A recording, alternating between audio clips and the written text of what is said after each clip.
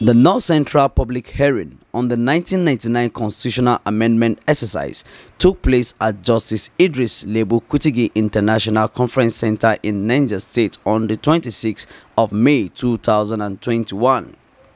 Four states in the North Central, Kogi, FCT, Niger and Kwara all did their representation, all did their presentation in Minna, while Benue, Plateau and Nasarawa converged in just Plateau states for same functions.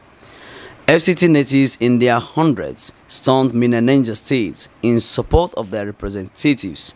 Among these lists includes FCT Senator, House of Rep members, FCT Area Council Chairman, youth groups, women groups, and several indigenous associations were all present. FCT Senator Philip Tanimu Aduda, Senate Minority Whip, who gave the welcoming address, asked the people to be optimistic and expect positive outcome after the whole exercise. The Senate Committee Chairman who chaired the event, Honorable Abdullah Isabi, urged the various speakers and presenters to adhere strictly to the allotted time of presentation, stressing that the report presented will be visited and treated as appropriate. FCT spokesperson make demand on behalf of the FCT natives as follows. In the FCT, we have uh, over 3 million of the entire FCT indigenous natives.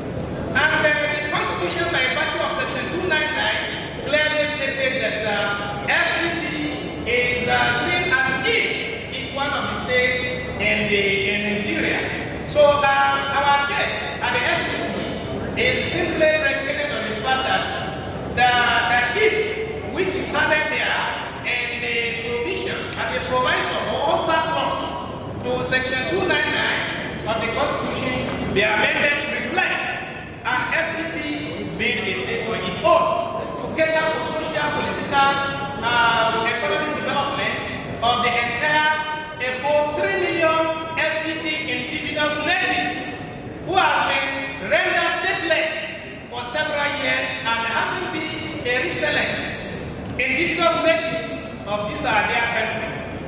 Inclusiveness in the Federal Executive Council. Second tiers of government in the FCT reflects appeal court judgment to appoint FCT native as minister. Others include One is the fact that we are worried about the non-enforcement of the Court of Appeal Abuja Division judgment of 15 January 2018 for the appointment of an indigene of Abuja FCT as a minister, a member in the federal cabinet.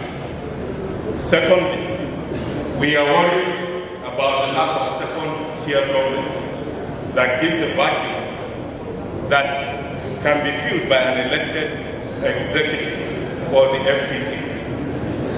We are worried also about the denial of basic constitutional indigenous and citizens' rights and privileges. Towards this end, we recommend as follows. One, that there is a need to delete and amend the relevant provisions of the 1999 Constitution relating to the Federal Capital Territory to provide for second-tier government by the election of a mayoralty or FCT administrator or whatever name so called or deemed appropriate as chief executive of the Federal Capital Territory Administration. In an interview with some of the FCT stakeholders, they reiterate their stance on amending the 1999 constitution, saying it is not favorable to the people of FCT. Well, I think uh, the review or alterations into the uh, constitutional uh, amendments, I think it's ripe and uh, the time is now. To the harmonized position of the FCT as presented by Professor Zamani, I think best submit our position. It best represents the interests of the people of the Federal Capital Territory. Uh, just like any other aggrieved citizens of this country, we are also believing that the FCT as people deserve to be attended to. Uh, if you remember, most of these challenges, crises, misgivings, that is, are the cause of what we are seeing today as uh, apprehensions. Some people are asking for, you know, wishing to part away from the country.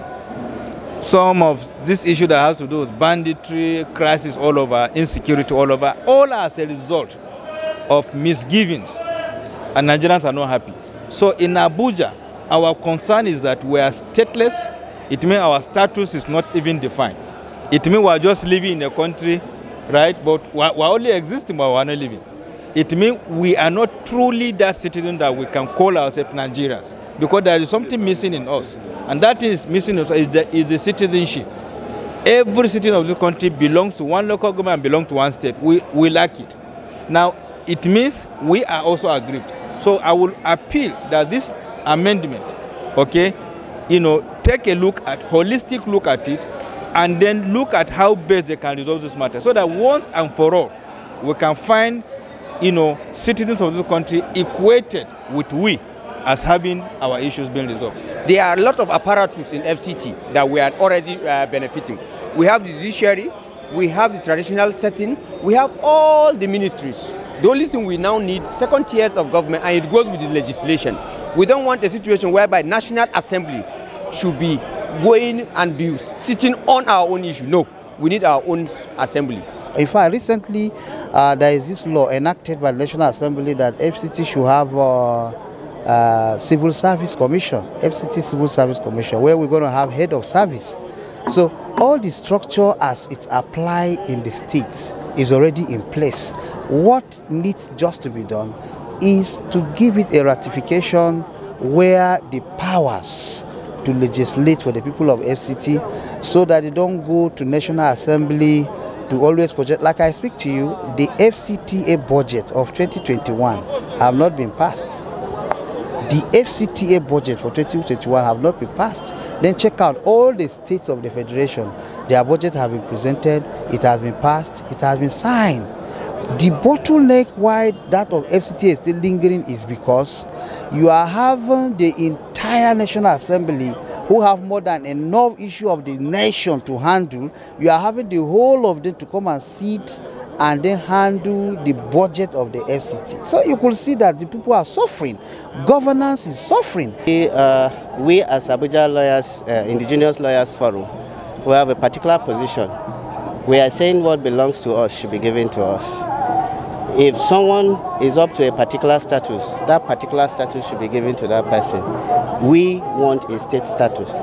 By the grace of God, with the with the with what has happened today here in Minna, I'm sure with the presentation of the coalition of the indigenous peoples uh, agreement, something will happen. We have started, and by the grace of God, if we continue this way, we'll get to where we are. So my advice to FC indigenous people is to come together, unify, and fight a common goal. We'll be needing uh, um, serious lobby, people who can actually talk and ensure that uh, it is done. But it's our prayer that at the end of the day, whatever we have um, complained of, whatever that has been bothering us, uh, will be considered uh, so that uh, we can be liberated at the end of the day. Solomon Danjuma for Ataza TV.